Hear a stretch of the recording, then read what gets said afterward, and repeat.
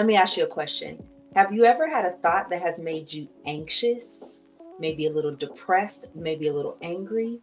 And that feeling took you straight off of your productivity goals. Maybe it stopped you dead in your tracks. I have the same feelings when that heart gets to acting funky. Sometimes you can't do anything and it could have been a thought that you like know is irrational and you know that your mind is over exaggerating things, but you can't stop it.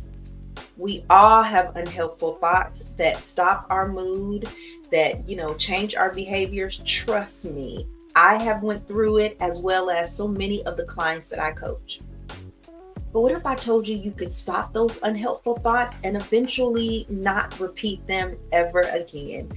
Hi, my name is Nasahrhette Gbawa. I am a spiritual life and business coach that helps spiritual practitioners overcome limited thinking so they can be able to live in their divine purpose, be able to achieve the things in their life that they have always wanted to achieve. I do this with my six point reboot reality system.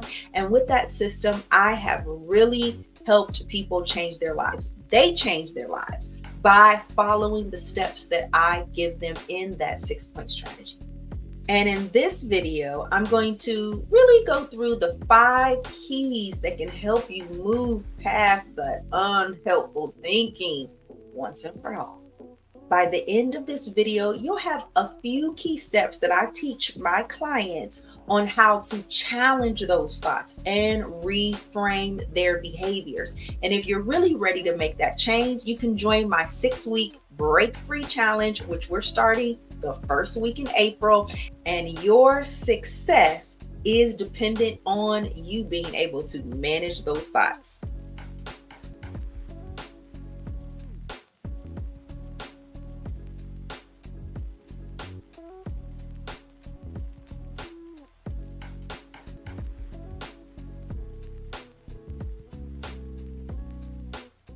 All right, so it never seems to fail, right? You're sitting down, you're getting ready for a task, maybe you're sitting down to meditate, and all of these unhelpful thoughts start flooding in that are totally contrary to the future that you want to create.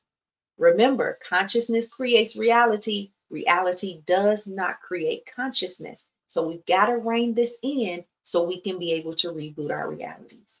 One of the first things that you are going to want to do is maintain space between yourself and your thoughts. You are not your thoughts. Thoughts are frequencies, and these thoughts can be coming from ancestors, they can be coming from your ego, they can be coming from entities. That's why I deal with spiritual practitioners because spiritual practitioners understand that they are a multi-dimensional being, and you simply cannot follow and listen to every thought that comes in your head. Let me give you an example. When you are driving down the street at any given time, there may be 50 to 100 cars around you. There's billboards, there's buildings, there's the crying baby that's waving at you in the car next to you. You can't take all that stuff in because if you do, you will end up in an accident. The same thing goes for your thoughts. Do not follow every thought, do not listen to every thought and be able to quiet and manage them. So set some distance between yourself and your thoughts, understanding that you are not your thoughts. Allow them to come in and move along. Allow them to pass like the wind. All right. Is this a helpful thought? Is this going to get me what I want? Is this aligning with my desire? And if they don't, then move along, little doggy, just like you do people that come into your life that don't serve you. Number two, understand how your brain is wired. Your brain is really wired to create solutions, right? And so if you have not really done the work to be able to manage your thoughts, then the brain, you've trained it. We've trained it for centuries to just come up with random thoughts, random thoughts. Buddha call it the monkey mind, right? That monkey mind. And sometimes these thoughts can be simply disturbing and they can be distractive and they can take you off your game. Simply go to your breath, let it pass, bring in a more helpful thought. And our brain seems to also just hyper focus on certain things. So, in the comments, let me know What's a repetitive thought that keeps up keeps you up at night constantly all the time? I want to know in the comments. Number 3, meditation. Meditation is something that people often don't value or they have a false sense of what meditation is for. You should know that there are various types of meditation, and just quieting your mind is not the first place that you want to go. Many times, just being focused on awareness of your thoughts is a form of meditation. Quieting the room, returning your breath, and simply observing what thoughts are coming in. What I would do from there is write down the thoughts that you have as they come in. Write down what are you keep thinking about all of the time, right? This allows you to really address those thoughts that are really important and those that aren't that you just keep thinking about because you've trained yourself to do that. So in the beginning, you might need not go to meditation practices where you have to shut the mind down, but more go into meditative practices where you are becoming aware of the repetitive thoughts that keep coming over and over again. And don't worry if you have problems understanding how to do that.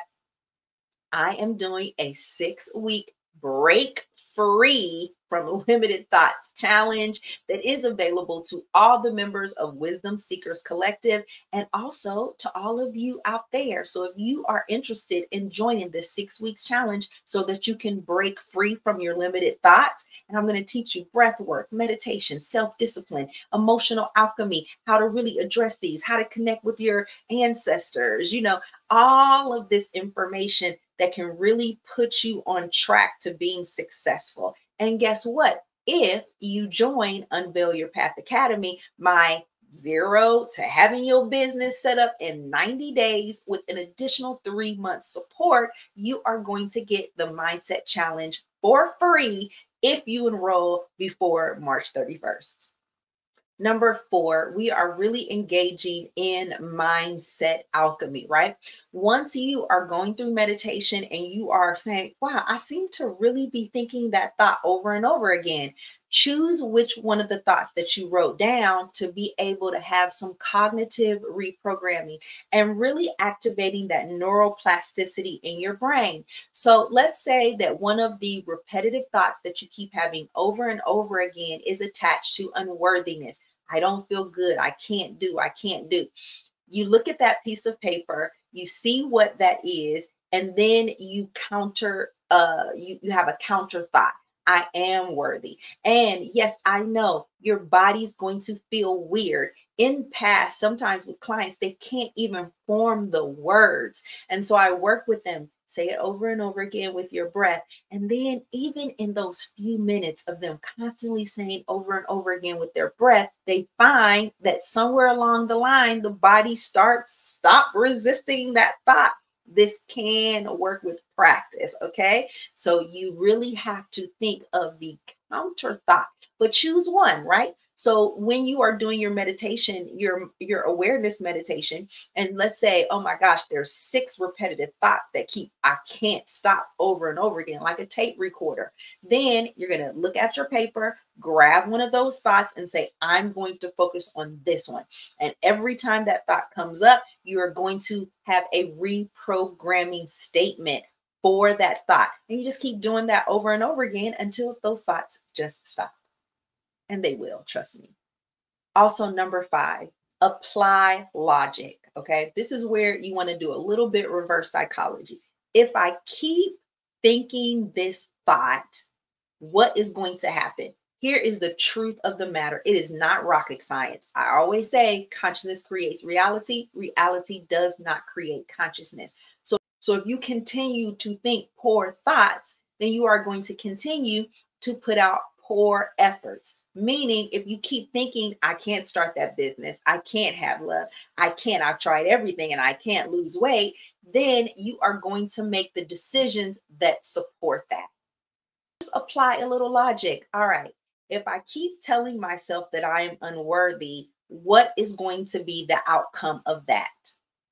So let me ask you a question. What is one thought that you keep saying to yourself over and over again that you want to be able to try uh, apply this technique to? I want to know. If your negative thoughts are continuing to distract you and they are keeping you in cycles and cycles and you simply just you having problems getting over it, then I want you to consider a coaching program with me. Okay. I have one on one coaching programs. We can set up a discovery call to see if it's right for you, which package is right for you. Also, you can join Wisdom Seekers Collective.